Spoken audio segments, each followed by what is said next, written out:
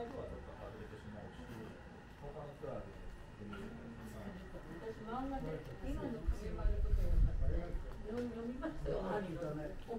今はね、あの、そういう資料館的なものは残ってるけど、街並みが残ってない。あ、そうかそうか。